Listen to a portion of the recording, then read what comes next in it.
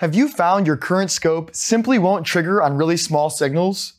The Rohde & Schwarz MXO 4 series oscilloscope can trigger on signals as small as 1 1000th of a vertical division, thanks to digital triggering. Let's take a look. Here, we have a pulse waveform, and the digital trigger gives you full control of trigger level and how much hysteresis you want. As you can see, the trigger level is currently set at the center of the waveform, and you are able to adjust it with the knob on the scope. Hysteresis is the amount of additional signal swing beyond the trigger level, required for a valid trigger. If you open the menu, select Trigger, and then Hysteresis, you can see it's currently set at 10 millivolts. Let's take a closer look by applying a zoom.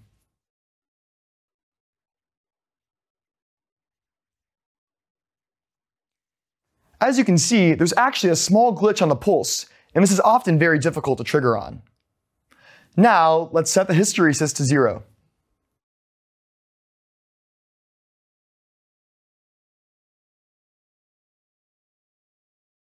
I'll move the trigger level to isolate this glitch.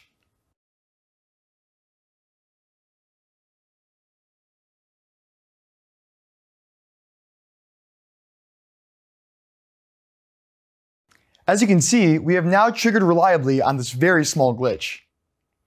With a zero hysteresis, the scope can trigger on extremely small signals. No other scope can do this. Check out Rohde & Schwarz MXO oscilloscopes in your lab. See the difference.